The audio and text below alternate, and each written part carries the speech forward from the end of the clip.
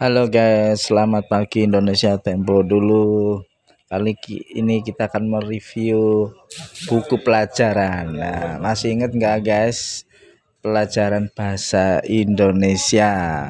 Uh, bagi sahabat-sahabat Indonesia Tempo dulu, mungkin pada waktu era 80-an sampai 90 ketika kita masih duduk di bangku SD pasti tidak asing lagi dengan buku bahasa Indonesia. Yang paling ingat apa guys? Ini Budi. Nah, dan ini Ibu Budi. Ini Bapak Budi.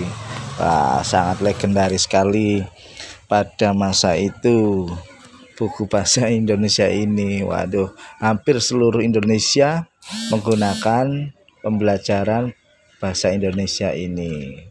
Itu Ani dan Budi, itu Budi, Ibu Budi, itu Bapak Budi, Ani Kakak Budi. Waduh, sangat sangat memorable sekali ya guys.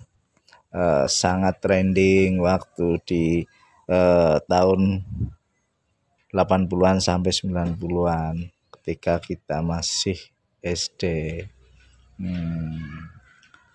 oh tahu ndak guys? Pengarangnya siapa guys namanya?